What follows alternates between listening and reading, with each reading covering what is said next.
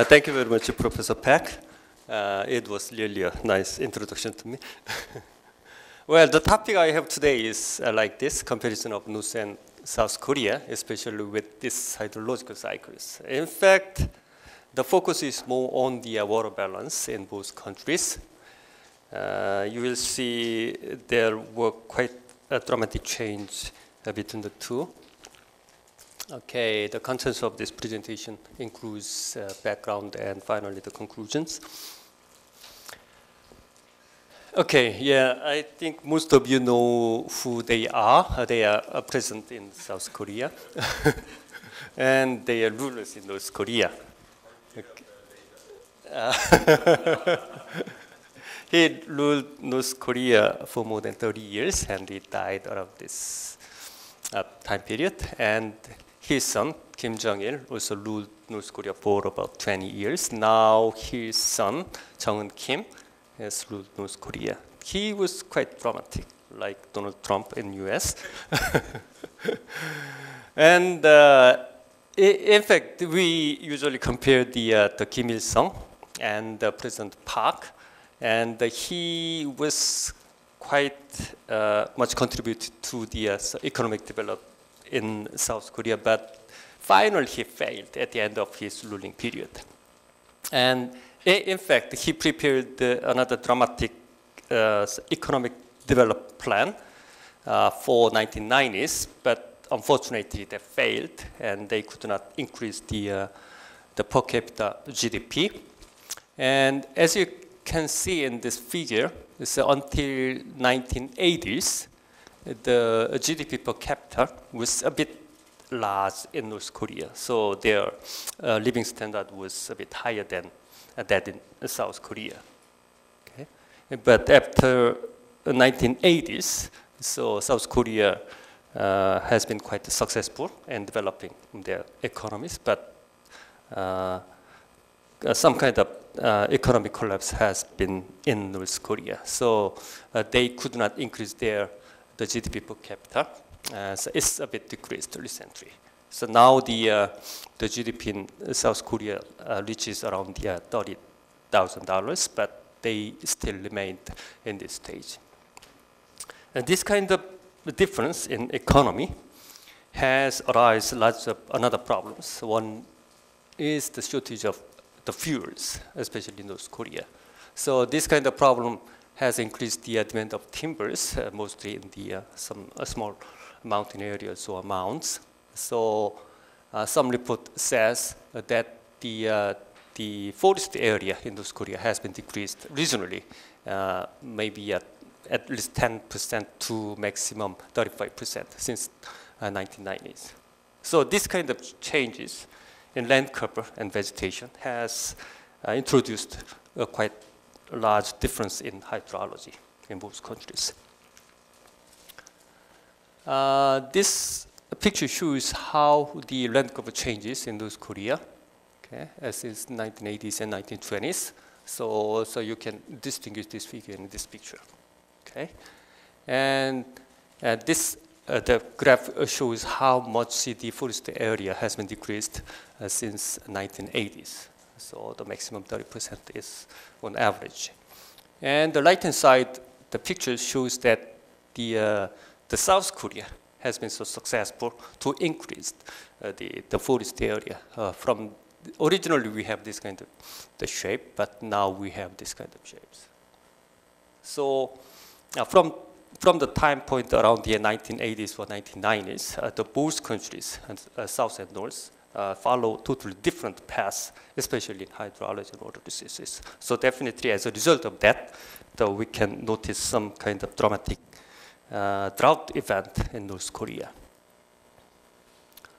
So these are some examples about the drought event occurred in North Korea uh, around 1990 and 2000. And they mentioned that the return period of the drought in this year 2001 uh, was about the several hundred years. And in this case was more extreme. They say that is the drought with a return period more than 1,000 years. But you know that the Korean peninsula is not that huge. So the, we assume that climate in South Korea and North Korea is more or less the same. So, but uh, during this period, we had, but we say that the return period of those drought uh, were less than 30 years or something. It was serious, but not that serious in North Korea. So we assume that this kind of huge uh, drought event uh, is partly okay, due to the, uh, that kind of deforestation in North Korea, uh, mainly because of the economic failure. Okay. Now let me summarize the objective of this study. So we want to compare what has happened in South Korea and North Korea. Uh, but the, you know that the, the data, hydrologic data in North Korea is not available, is not available uh, some precipitation and temperature data are available, but that is the maximum. No observation data about the runoff or soil moisture is not available, available at all. So we need another tool to compare the situation in South Korea and North Korea. So we decide to use uh, the VIC model. So I will explain what this model is. And to consider the, uh, the change of land cover in North Korea, we use uh, different land cover data uh, for every 10 years. And uh, we use the, uh, the runoff data observed in South Korea for the validation of the modeling study. Also, we compare the soil moisture data over entire Korean peninsula. Uh, that soil moisture data is the, collected by the satellite, so we are going to compare that. And finally, after the validation of this simulation, we are going to compare the situation in South Korea and North Korea. Okay, this, uh, this slide summarizes the, what the VIC model is. As, uh, this is a large-scale land surface model developed by the University of Washington. And uh, they still use it, okay? And it considers some water balance and energy balance and some kind of interaction between the soil and vegetation and atmosphere. And the VIC model has two different parameter set. One is related to the soil uh, another one is the vegetation. So with some information about the soil and vegetation cover or land cover, then we can kind of automatically uh, decide the parameters. So in the parameter estimation, we do not use any kind of trial or trial and error or any kind of optimization techniques. So it's kind of a straightforward procedure to decide the parameter, parameter estimation of the VIC model. And uh, the VIC represent variable infiltration capacity. So it's kind of technique to improve the quality of runoff simulation. Okay. And uh, we set the simulation using this kind of conditions. The resolution, the spatial resolution we adopted is 0.5 times 0.5 degree. So we have 92 cells within the Korean Peninsula. So it's kind of rough simulation. And uh, the simulation time step uh, was set to daily. So we did the simulation during this period from 1983 to 2013, so more than 30 years. Uh, and we divide uh, this uh, simulation period into three terms, the first term and second term and third term. In, fact, this uh, division was introduced to consider land cover change. So for this period, we use one land cover information, and for this period, another one, and for this period, another information of land cover. Okay, let me uh, explain something about yeah, some data used for parameter estimation. Uh, well, it's not complicated, and we use two different soil related data. One is the soil classification and another one is the soil depth. So this two information is uh, really important for determine the parameter and ultimately determine the soil moisture condition, etc. So the information was provided by FAO, and that information was uh, collected, made in 1995. And we assume that this soil condition remains unchanged uh, during the simulation period. And this is one result of the parameter estimation about the soil-related parameters. And as you can see in this table, the, uh, there's no obvious change between north and south.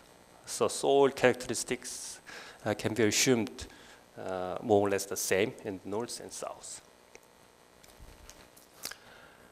And this is the land use data we used for uh, estimating the parameters related with the vegetation, etc.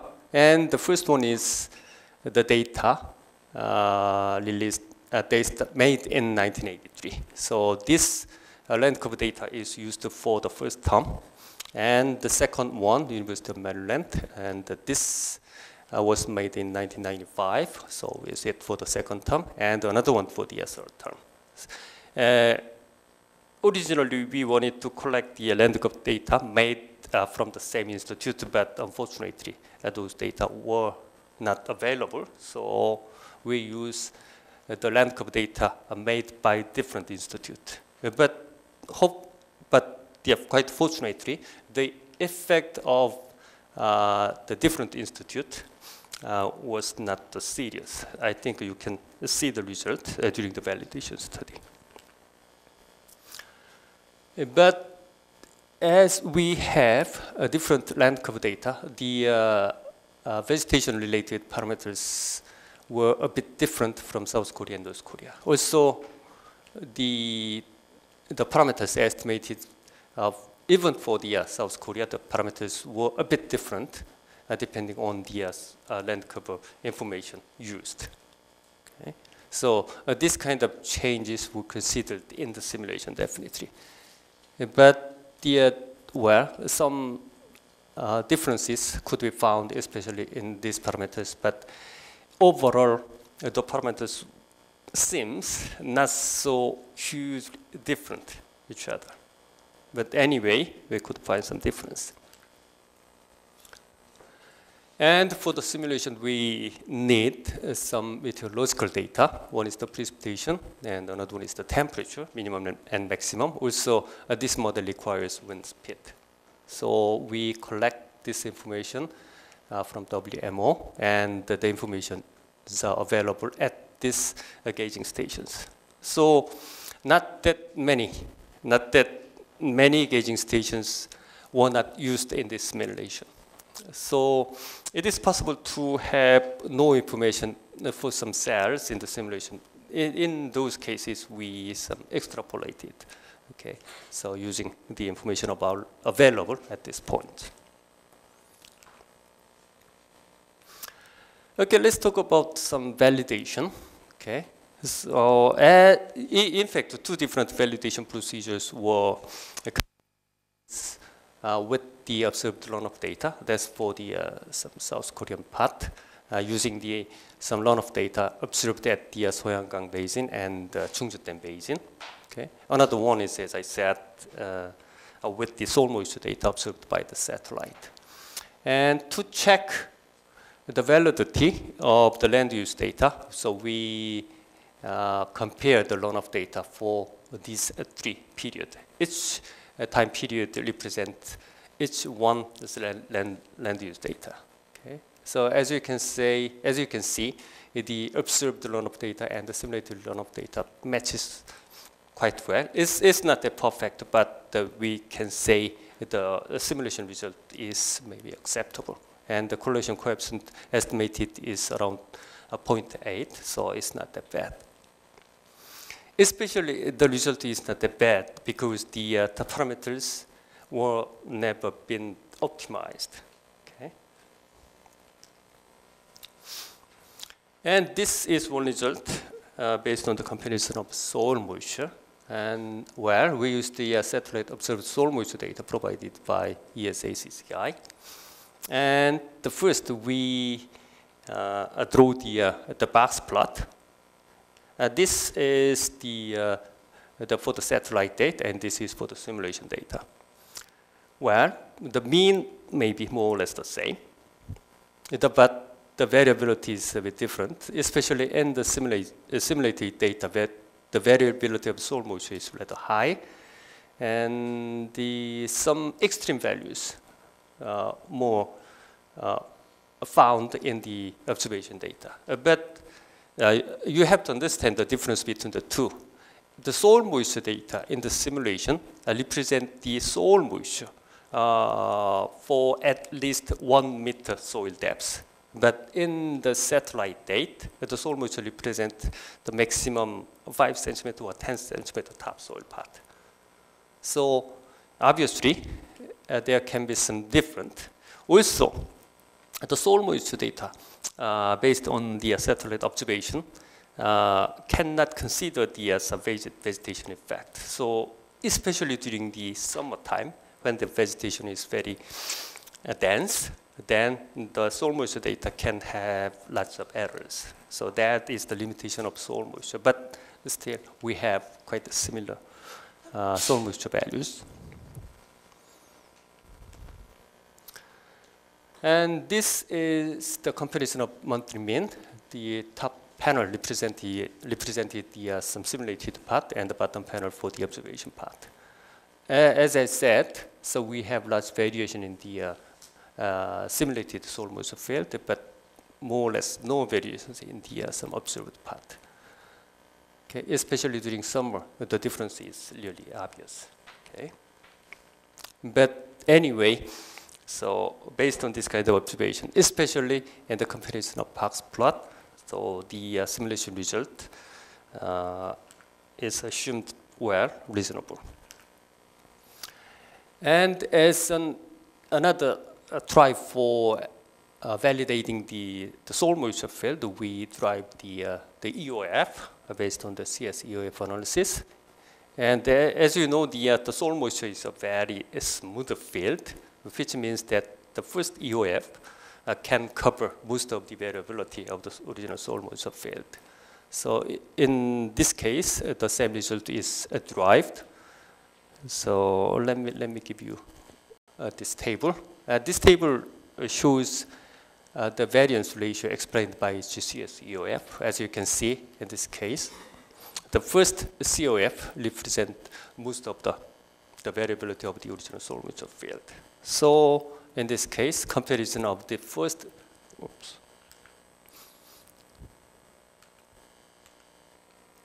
the comparison of the, uh, the first CSEOF has its meaning, okay? And the, we check the, uh, the two statistics. One is the, uh, the pattern correlation. Another one is the uh, uh, normalized root mean square error. And it says that the, uh, the level of the similarity of two CSEOFs are quite high, and the and RMSE value is also estimated very small, uh, from 0.1 to 0.3. So based on this result, we assume that the simulation result is a bit reasonable. Okay. Okay, up to this part is kind of modeling and the validation part. Now uh, let me show you some result. In fact, result uh, show result uh, is divided into two parts. One is the uh, some entire uh, North Korea and entire South Korea, and the other is the we select several river basins in North Korea and South Korea. So we are going to compare uh, these two cases. Also, the comparison was done with runoff ratio and evaporation ratio and soil moisture. Okay, okay, this is about the runoff. Well, and this is the precipitation I used as the input data. As you, you know that the runoff itself is very dependent on the amount of runoff. So, so based on this record that the precipitation record that there was no obvious trend okay, in the pre precipitation in South Korea and in North Korea. So they were, the trend were very similar. Also, the variability is a bit higher in South Korea rather than in North Korea.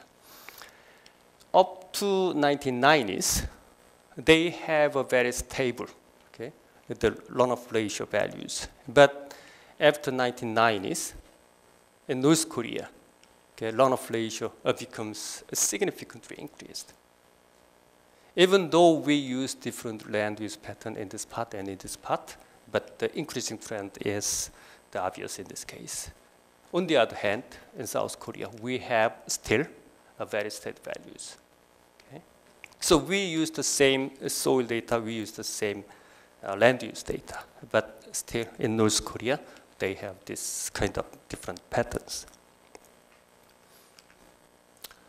And this is about the soil moisture data. Quite interestingly, after uh, since 1990s, okay, the soil moisture value in North Korea is also increased. Originally, we expected that the soil moisture level uh, will be decreased uh, during this period, but the result was totally opposite. Okay, so we are not sure why this kind of result was derived, but still, this is the result. On the other hand, uh, similar to the uh, runoff case, the soil moisture level remains almost the same in South Korea. Okay, and this is the average value of the uh, North Korea and of the South Korea. And this is about the evapotranspiration ratio. Okay, and we have totally opposite uh, trend uh, compared to the uh, the runoff ratio. Okay, uh, the uh, this part is the uh, the, the represented for South Korea. So we assume that the evapotranspiration and this ratio is almost the same or maybe weak decreasing trend in South Korea, but it has quite huge and strong decreasing trend in North Korea. Okay. So, okay, okay, let me give you another example. Okay, this part explains how the basin average runoff and soil moisture and the evapotranspiration. Okay, so we select uh, three river basins in South Korea and two river basins in North Korea. And this is the Soyangang Basin and the Chungju Dam Basin and the Andong Dam Basin. So these are one of the top three river basins in Korea. And we select two river basins in North Korea. One is the Daedonggang Basin, another one is the Cheongcheongang Basin. You, you, you, may know that the, the Pyongyang, the capital city of North Korea, is within this uh, Daedonggang Basin. Okay? And we assume that this is quite apart from Pyongyang, so we uh, may be uh, categorized by the rural area.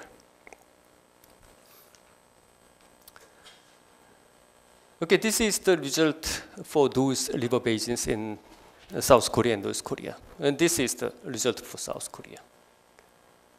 So almost the same in three river basins. So no obvious difference between river basins. But in North Korea, uh, they have quite different the result.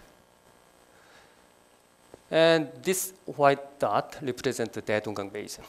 Okay? So we assume that in this river basin, they, yeah, the area of forest, the forest area have not decreased so much.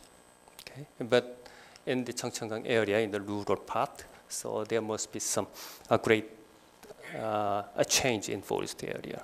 So the difference between the two is so huge compared to uh, three basins in South Korea. Okay, and this kind of trend is also observed in soil moisture field. In South Korea, the soil moisture data is very steady and in three basins, uh, the values are almost the same. But in North Korea, they have totally different. And the decoupling between the two can be observed since 1990s. And this is a evapotranspiration case. So we also have similar result in South Korea and totally a different result in North Korea. So in fact, uh, this is the uh, simulation result uh, based on the parameters and based on the input data for parameter estimation. But still, we can uh, we could notice that something quite a dramatic change has been occurred in North Korea compared to the South Korea. It's obvious because we use the same data in South Korea and North Korea. Okay. Okay, let me uh, summarize the research. And we did the hydrological uh, cycle simulation in those in South Korea, and we found that uh, there is a huge difference now between South Korea and North Korea. And we assume that that change was definitely due to the change of the, the forest area and the forest area in North Korea is definitely related with the uh, some the economic collapse okay, since 1990s. Okay. So it's just 30 years period, but we can find uh, that kind of huge difference in hydrological cycles between two countries. That's it. Thank you very much.